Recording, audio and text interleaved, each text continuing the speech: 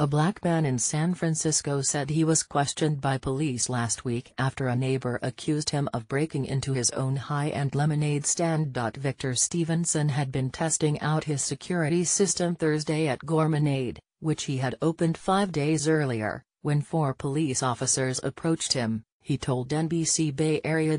I say, oh, did the security system go off? If it did, my apologies. I am on the phone with the company now. Stevenson told the news outlet. That's when the police told him a neighbor had reported him for breaking into the stand, he said. The cops asked to see his hands, which were in his pockets, and told him to prove it was his store, Stevenson said. When he showed them his store key, they asked to see his ID as well, according to Stevenson. Being black at my business minding my business and someone called the police and said I was breaking in, Stevenson wrote in a Facebook post Thursday. People die because of this kind of misuse of police resources and racial profiling every day. This isn't the first time Stevenson has felt threatened for being a black entrepreneur, he told news outlet AJ+.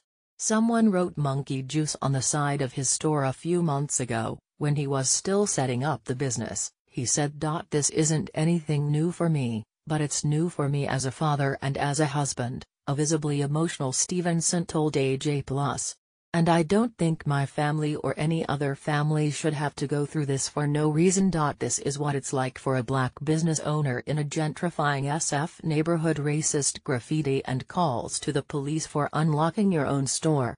pic.twitter.com slash f9lvsiacm7, AJ plus a type plus July 20, 2018 Stevenson did not respond to requests for comment. The San Francisco Police Department on Monday released a statement and body camera video of the incident, which they say lasted less than three minutes.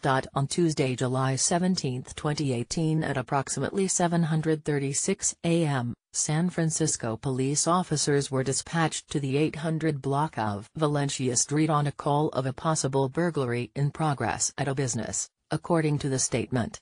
The caller stated that the person was removing items from a small, open door. Four officers responded to the scene and spoke to the person and determined he was the owner of the business. Stevenson's run-in with police last week marks yet another incident in recent months in which a black person was unjustly reported to law enforcement for engaging in an innocuous activity. Last month, police were called on a black firefighter who was participating in a safety inspection in Oakland, California. In May, a white woman, also in Oakland, called the cops on a black family having a barbecue. The list of apparently racially motivated reports goes on and on. Such incidents have prompted a fierce debate about racism in the U.S. and the potential danger people of color face when unfairly reported to police, since police interactions with black people, in particular, are disproportionately likely to end in excessive force or death. This article has been updated to include a statement from the San Francisco Police Department.